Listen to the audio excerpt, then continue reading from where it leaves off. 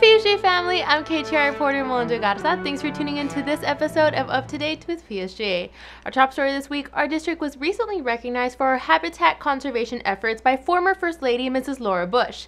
Mrs. Bush, who founded Texan by Nature, a Texas led conservation effort, visited Palmer Elementary to speak to students about the importance of maintaining our unique ecosystem in the lower Rio Grande Valley. Our district was named a Conservation Wrangler, the first school district in the nation, I might add, for our efforts in not only preserving our natural habitat, but utilizing a hands on learning approach through outdoor classrooms. Also, the National Wildlife Federation recognized our school district for having the best schoolyard habitat in the entire country. How amazing is that? Of our students recently returned from Round Rock after competing at the 2017 State Cross Country Meet. PSJA Memorial Junior Cruz Gomez competed at the State Cross Country Meet during the first week of November and earned fifth place in the 6A boys race. A huge congrats to Cruz for this amazing accomplishment and for setting a new personal record. The PSJA North Speech team recently competed at the Texas Forensic Association State Tournament and the National Individual Events Tournament of Champions at St. Mary's Hall in San Antonio, and two students did amazing. PSJA North senior Christopher Trevino placed fourth in the oral interpretation category, and 11th grade student Dago Lopez got first place in oral interpretation and third place in dramatic interpretation.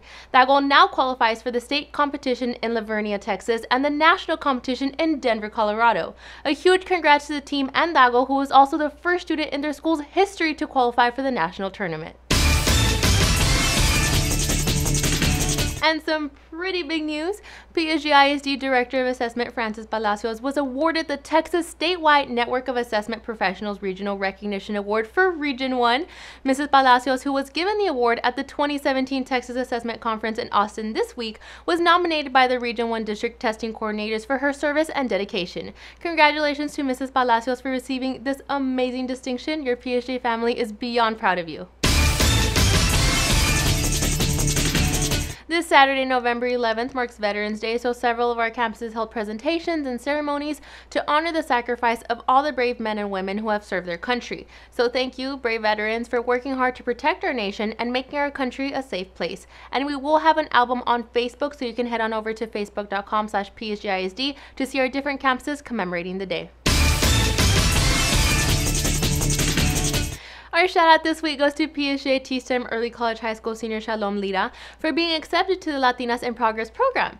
The program was created as a way to celebrate the positive image and values of Hispanic culture. Congrats Shalom for being the only student at your campus to be accepted into this prestigious program.